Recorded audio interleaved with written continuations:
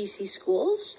Um, and if I am remembering correctly, the uh, minister stated that there really isn't any screening program right now in BC schools and that uh, individuals do not need a diagnosis in order for them to get help. Uh, but my question is um, without any diagnosis, how do you know, uh, through you, Mr. Chair, to the minister, how do you know what are the appropriate interventions?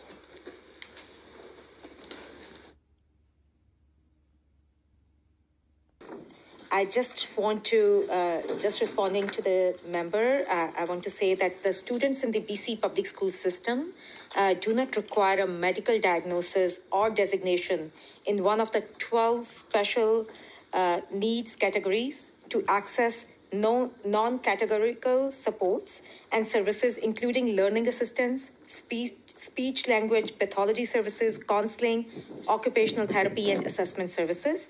Um, and uh, we the K to 12, our public system, K, uh, K to 12 education system uses a variety of approaches such as universal design and differentiated instruction to address the address the uh, different needs of all students in the classrooms.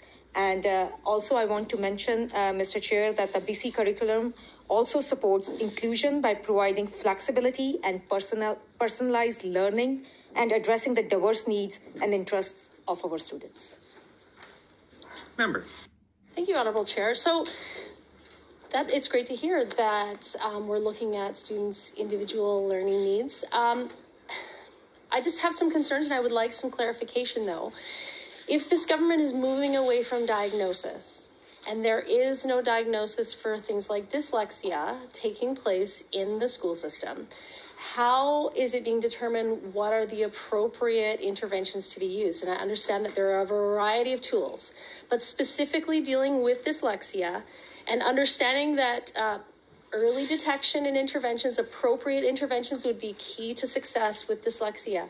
What specifically to you through you to the minister is being done in terms of ensuring that the right supports are in place for children with those specific needs?